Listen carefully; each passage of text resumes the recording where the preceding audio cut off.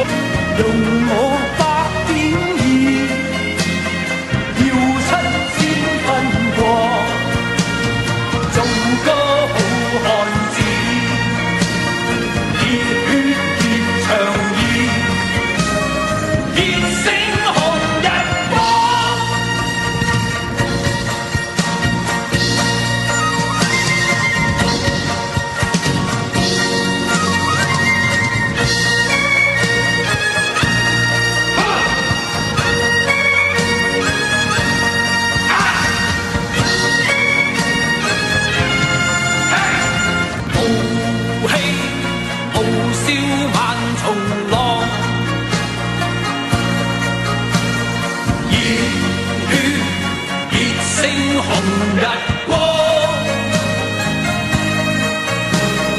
胆似铁打，骨似精钢，胸襟百千丈，眼光万里长。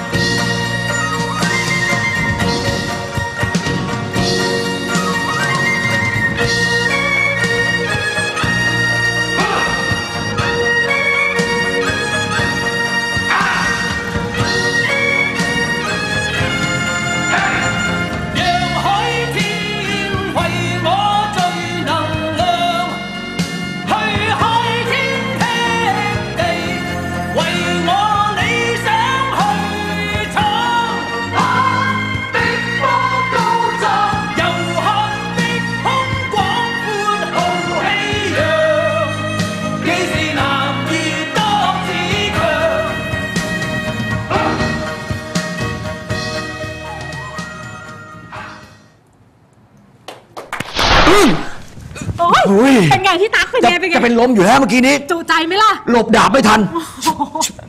เต็มอิ่มอะโอ้ยดาบกับกระบี่นี่ต่างกันเลยนะ ต่างกันสิ ตอนเราดูเบรกแรกเราเห็นกระบี่ลำว่างามแล้วนะ